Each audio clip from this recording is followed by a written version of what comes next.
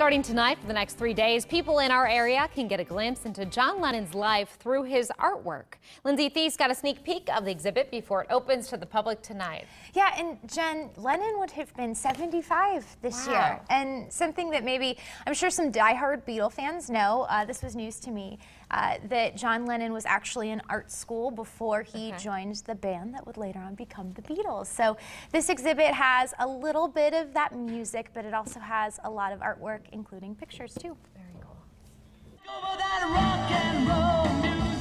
John Rogers, owner of Omaha's Gallery 72, loves the Beatles' music. They were good then, and they have aged beautifully. So when the opportunity came to host an art show of John Lennon's artwork, the answer is yes. For the next three days, this gallery in Regency is the only place to see Lennon's work. There's 80 pieces in all, from serigraphs of Lennon's songwritings.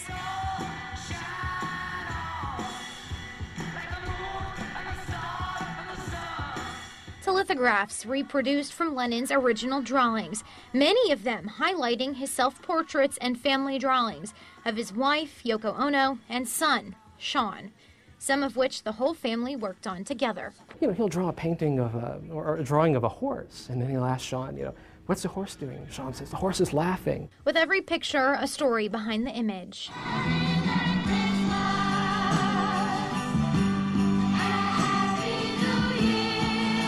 Plus, Beatles and Lennon's music to fully round out the experience. With the art that's been very carefully put together to represent his life, they find they're meeting John Lennon. Meeting made possible from Yoko Ono's supervision. And one more part that makes this artwork key to what the man who sang about imagining peace for everyone, a mission of giving back.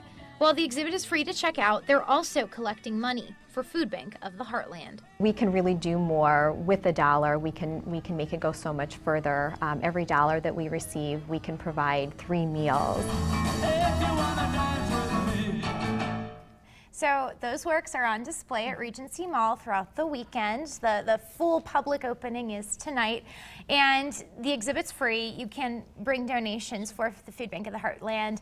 Uh, for the real avid art collectors, you can also buy some of those pieces. They will set you back though. The, the least expensive are about a thousand. Okay. And the most expensive are a little close to ten thousand dollars. So okay. kind of pricey, yeah. just a little pricey, but still very neat to look at. Very cool. And uh, even the small glimpse we got there, you do feel like you're learning more about the history of who he was. Oh, I mean, he's, yeah. he's a legend, and so you get a little glimpse of his life. Definitely. And a lot of these are from after the time that the Beatles were really big, okay. too. So lots with Yoko and his son. Yeah, very neat. Interesting. Thanks, Lindsay. We appreciate it. Let's